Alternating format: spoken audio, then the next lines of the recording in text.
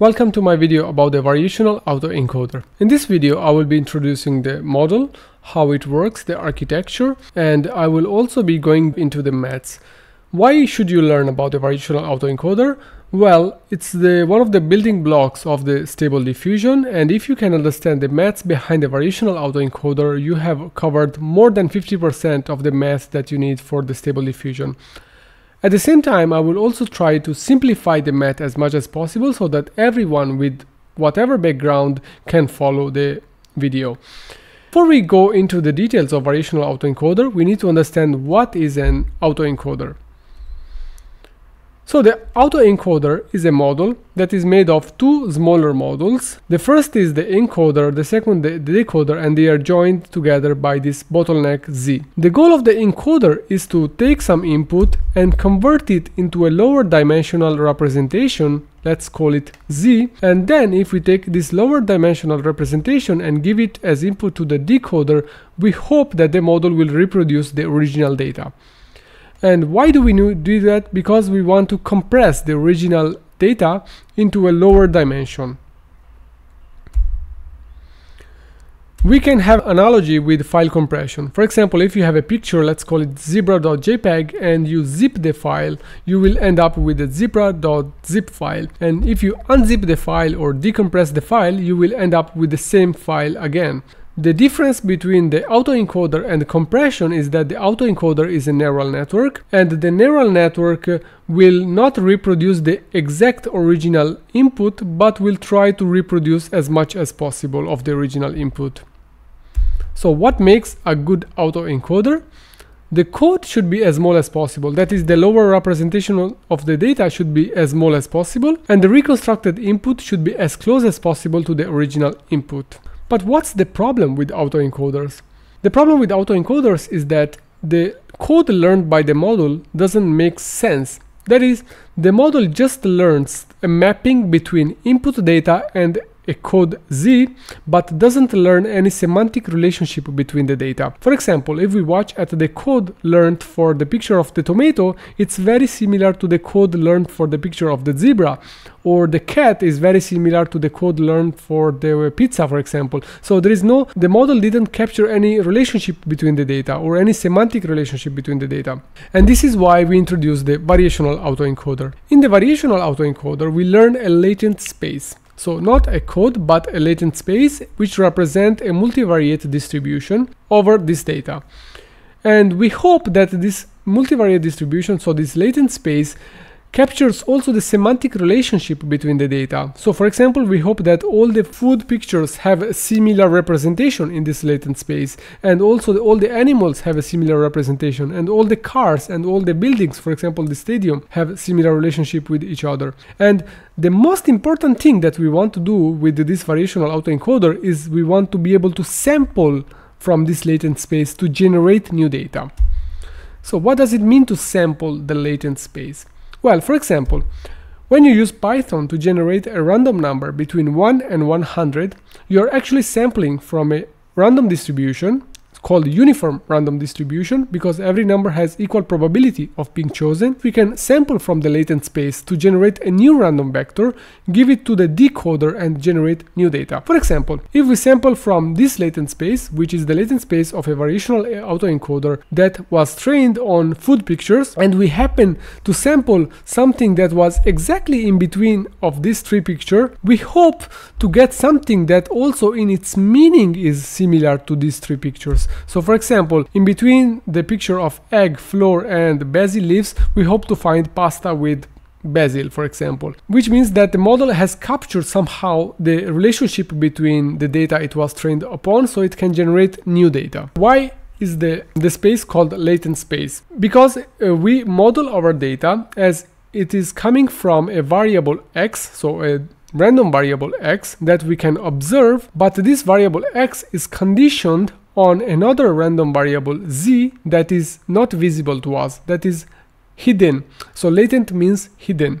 And we will model this hidden variable as a multivariate Gaussian with means and variance. I know that this all sounds very abstract, so let me give you a more concrete example. I will use the Plato's allegory of the cave. In the Plato's allegory of the cave, we have some people who, since the childhood, are born and lived all their life in this cave. We are talking about these people here. And these people never left the cave, so they only stayed in this area of the cave and they are chained, so they cannot leave. These people, since childhood, have seen these pictures on the cave that are projected from these 3D objects through this fire. So they are the shadow of these 3D objects here. But these people, they don't know that these pictures actually are casted from these 3D objects. They don't know that they are shadows. For them, the horse is something black that moves like this, the bird is something black that moves like this.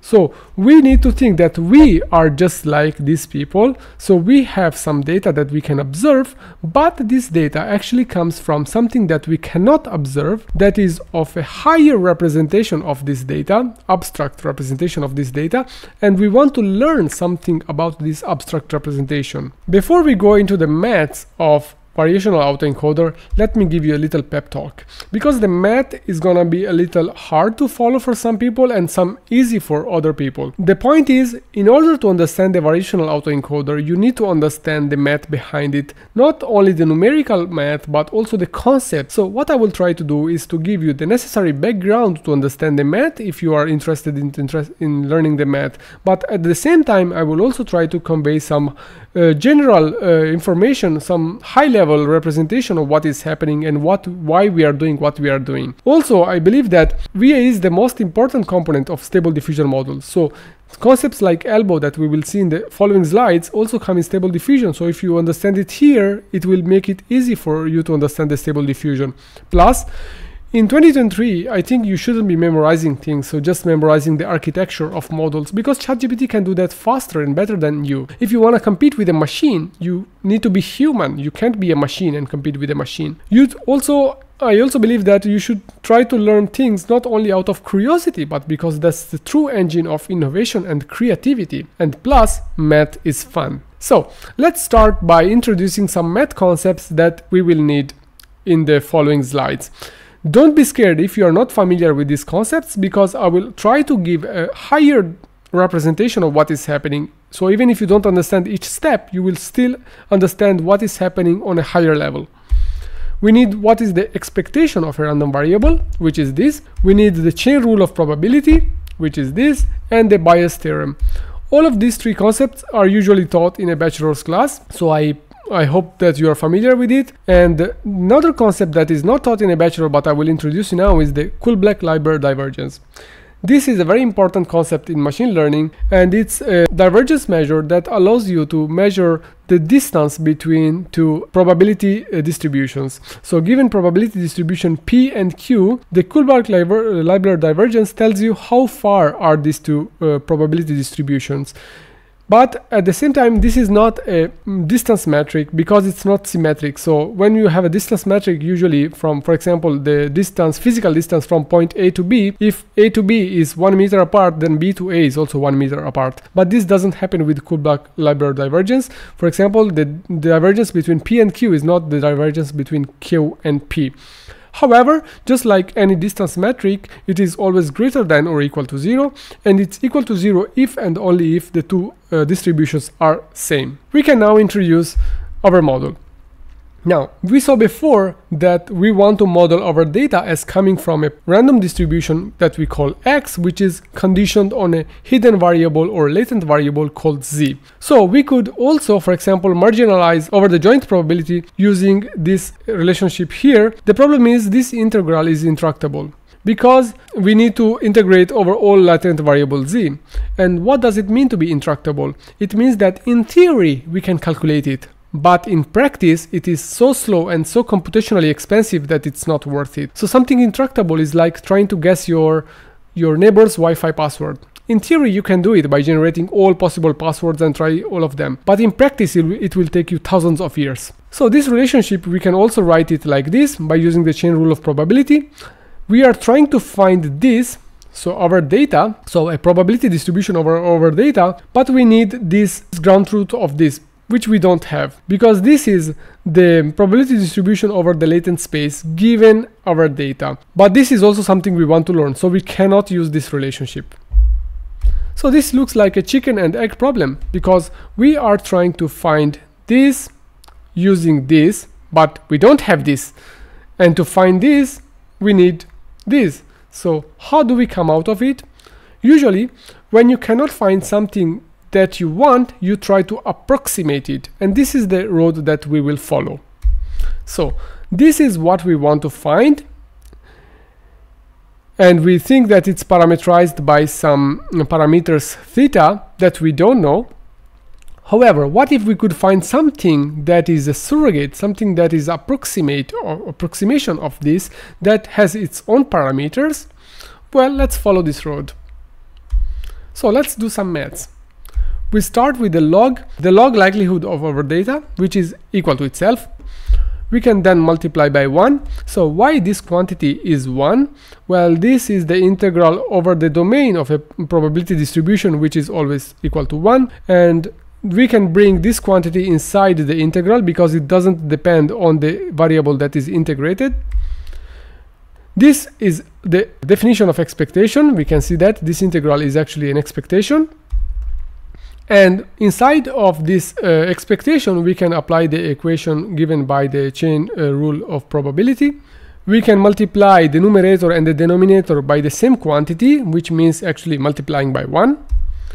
Then we can split the expectation because this the log of a product can be written as the sum of the logs and then after writing the sum of the logs we can split the expectation and finally we can see that the second expectation is actually uh, Kullback-Leibler divergence. And we know that it's always greater than or equal to zero. Now let me expand this relationship that we have found. That is the log likelihood of our data is equal to this quantity plus this KL divergence. We will call this quantity here the ELBO which stands for evidence lower bound plus a KL divergence that is always greater than or equal to zero. Now, what can we infer from this expression without knowing nothing about the quantities involved? Okay, if you cannot see it, will, let me help you with a parallel example. Imagine you are an employee, you have a total compensation, which is your base salary plus a bonus, which is always greater than or equal to zero. Without knowing nothing about your base salary or your total compensation, we can for sure deduce the following, that your total compensation is always greater than or equal to your base salary. Now, this expression here has the same structure as this expression here. So we can infer the same for the, the same for the first expression. That is, the first quantity is always greater than or equal to the second quantity, without caring what happens to the third quantity. So this also means that this is a lower bound for this. This also means that if we maximize this, this will also be maximized. Let's look at the ELBO in detail. Now, we found before that this quantity here is the what we want, and if we maximize this quantity, we are going to automatically maximize this quantity. But this one can also be written like this by using the chain rule of probability. And then we can split again the expectation. And then we can see that the second expectation is a KL divergence itself. In this case, it's a reverse KL divergence. So it's not same as the, the one we saw before because the numerator doesn't match with the probability distribution we see here. So we put a minus sign here. Now, we can our goal is to maximize this, but we maximize this to actually maximize this uh, log likelihood. However, if we maximize this quantity here, so this is the our ELBO, we are actually maximizing this sum or this difference actually. And when you maximize this difference, you are maximizing this, and at the same time you are minimizing this. If you cannot see it, let me give you a parallel example. By showing you like this, imagine you have a company and your company has profit, revenue and cost. If you want to maximize your profit, what do you do? You maximize your revenue and at the same time you maximize your cost. That's the only way, right? So if we are maximizing the ELBO, we are actually maximizing this first quantity here and at the same time we are minimizing the second quantity we see here. Now let's look at what, what do these quantities mean. And for that, I took this picture from a paper from Kingma and Welling, who are also the authors of the first paper about the variational autoencoder. And we can see that this is a log likely, it's a posterior of something that given z gives us a probability distribution over x. So here we are talking about the decoder and here we have a KL divergence between two distributions. One is called the prior, so this one. So this is what we want our z-space to look like. And as I said before, we want our z-space to be a multivariate Gaussian. And this is the learned distribution by the model. So this here, when we maximize the ELBO, since we are minimizing this quantity, the model actually is minimizing the distance between what it is learning as the z-space and what we want the z-space to look like. So it is making the z-space to look like a multivariate Gaussian. And because when we maximize the ELBO, we also maximize the first quantity, the model is also learning to maximize the reconstruction quality of the sample X given its uh, latent representation Z. Now, the problem is when you maximize something that has a stochastic quantity inside, here we have a probability distribution, we need, okay, first of all, let me uh, describe how to maximize something. So, when we want to maximize a function, we usually take the gradient and adjust the weights of the model so they, they move along the gradient. Or when we want to minimize a function, we take the gradient and adjust the weights of the model so they move against the gradient direction. And this is also what happens when we train our uh, models. For example, imagine we have a function that is convex, so looks like, let's say, a ball. And our minimum is here our initial weights are here, so we evaluate our gradient in this point, and the gradient always points to the to where the uh, the direction of growth of the function. So the function is growing in this direction and we move against the gradient if we want to minimize the function right? And the problem is we are not calculating the true gradient when we run our model. We are actually calculating what is called, um, we are using stochastic gradient descent. Have you ever wondered why it's called stochastic gradient descent and not just gradient descent? Because actually, to minimize a function, you need to evaluate the function over all the data set. So all the training data you have, not only on a single batch. But by doing it on a single batch, you get a distribution over the possible gradient. So for example, when we use stochastic gradient descent and we evaluate the gradient of our loss function, we do not get the true gradient, we get a distribution over the gradient. And someone proved that if you do it long enough, so if you do it over the entire training set, so one epoch, it will actually converge to the true gradient. Now, the fact that it is a stochastic gradient descent, it also means that the gradient that we get has a mean and a variance. Now, the variance in our case in stochastic gradient descent is small enough so that it we can use stochastic gradient descent. The problem with this quantity, if we do the same job with this one, we get an estimator. So this is called estimating a quantity, a stochastic quantity that has a high variance as shown in the paper. So if we look at the paper by Kingma and Welling, they see they show that there is an estimator for the ELBO, and this estimator, however, exhibits a very high variance. So it means that, for example, imagine we are trying to minimize our function. If we use an estimator that has high variance, suppose we are here and the minimum of the model is here, if we are lucky, the we when we calculate the gradient, we will get the true gradient and we move against the gradient. However, if we are unlucky because it has high variance, the model may return a very different gradient than what we expect. For example, in this direction, and then we will move to the opposite direction, which is this one. So it will take us far from the minimum, and this is not what we want.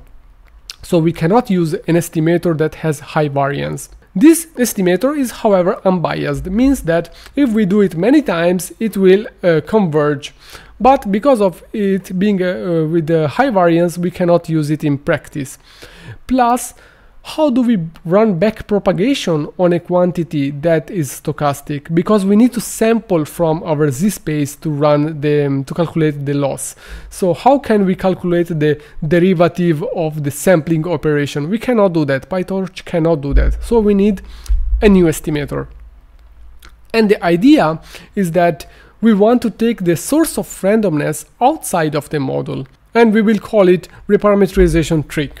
So the reparameterization trick means basically that we take the stochastic component outside of z, we create a new variable epsilon that is our stochastic node, we sample from epsilon, combine it with the parameters learned by the model, so mu and sigma square, which is the mean and the sigma of our multivariate Gaussian that we are trying to learn, and then we will run back propagation through it. Let me show you with a, a uh, picture.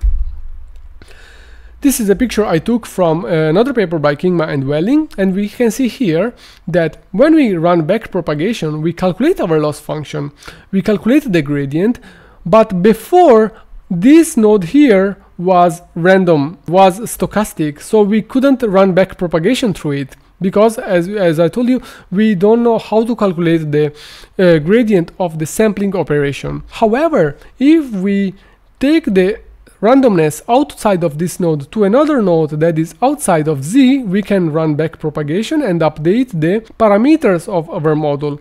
And then, of course, the back propagation will also calculate the gradient along this path, but we will just discard them because we don't care. We will choose a random source that is fixed. We will use n01 or n0i in case we are using a multivariate Gaussian and so now we can actually calculate the back propagation. Plus, this estimator that we found has lower variance. So we found this estimator in which we replace the stochastic quantity here, so q of phi of z given x, conditioned on x, with this one, which is actually coming from our noise source, which is epsilon. We combine it with uh, the parameters learned from the model through this transformation. And then this is our new estimator. This is also called the Monte Carlo estimator. We also can prove that this new estimator is unbiased. It means that if we run it many times, it will actually converge to the true gradient. So we can do like that like this. So if we take the gradient of this estimator and we do it many times, so on average, we can see that we can write this quantity here like this because this is our estimator. And then because this gradient operation doesn't depend on the parameters of this estimation, we can take out this gradient uh, operator and then we can write this quantity inside this one here as our ELBO, original ELBO, reparameterized over the noise source epsilon. I want to recap what we have said so far. So, we found something called ELBO that if we maximize it, we will actually learn the latent space. We also found an estimator for this ELBO that allows the back propagation to be run. So now I want to combine all this knowledge together to simulate what the network will actually do. So imagine we have a picture here of something, we run it through the encoder and the encoder is something that given our picture gives us the latent representation then what we do? We sample from this noise source, which is outside the model, so it's not inside of Z, it's not inside of our neural network. And how to sample it? Well, in, there is a function in PyTorch called torch.randn_like, because we will sampling from a distribution with zero mean and unitary vari variance. We will combine this sample, this noise, noisy sample with the parameters learned by the model we will pass it through the decoder, so given z gives us back x, and then we will calculate the loss between the reconstructed sample and the original sample. I want to show you the loss function. Don't be scared because it's a little long and not easy to derive if you don't have the necessary background, but I will try to simplify the meaning behind it. So the loss function is this one. We can see it here and it's made of two components. As we saw before just the, the loss function is basically the ELBO so it's made of two components. One that tells how far our distribution the learned distribution is from what we want our distribution to look like. And the second one is the quality of the reconstruction which is this one. So this one we can just use the MSE loss that will basically evaluate pixel by pixel how our image is different from the original image, so the reconstructed sample from the original sample. And this quantity here allows to calculate the KL divergence between the prior, so what we want our Z space to look like and what is actually the Z Z space learned by the model. How to combine the noise sampled from this noise source epsilon with the parameters learned by the model? Well, because we chose the uh, model the prior to be Gaussian and we also chose the noise to be Gaussian, we can combine it like this. So the mu learned by the model plus the sigma learned by the model multiplied, this is element, element uh, wise uh, multiplication, so not matrix multiplication, with the noise. I also want to uh, you to notice that here before we are not learning sigma square, we are learning log of sigma square. So we are not learning the variance but the log variance. Why is this the case? Well, if we learn sigma squared, we should force our model to learn a positive quantity because sigma squared cannot be negative so we just pretend that we are learning log sigma squared and then we want to transform into sigma squared. We just uh, take the exponentiation. So i hope that you have some understanding of what we did and why we did it because my goal was to give you an insight of what is the ELBO. So the ELBO is something that we can maximize to learn this space. And I also wanted to show you the, the derivation of this ELBO and all the problems involved in this because this is the same problems that we will face when we will talk about the stable diffusion. And this uh, part here I took from the original paper from Kingma and Welling in which they saw the, uh, the loss function if you're wondering why we got this particular formula here for the KL divergence, I saw the derivation on Stack Exchange and I attach it here in case you want to have a better understanding on how to derive it yourself. Thank you for watching this video and uh, hopefully you learned uh, everything there is to know about, at least from a theoretical point of view, about the VA in my next video I want to also make a practical example on how to code a VAE and how to train a network and then how to sample from this latent space. If you watch this video and that video I'm pretty sure that you will have a deep understanding of the VAE and you will have a solid foundation to then understand the stable diffusion. Thank you for watching and welcome back to my channel.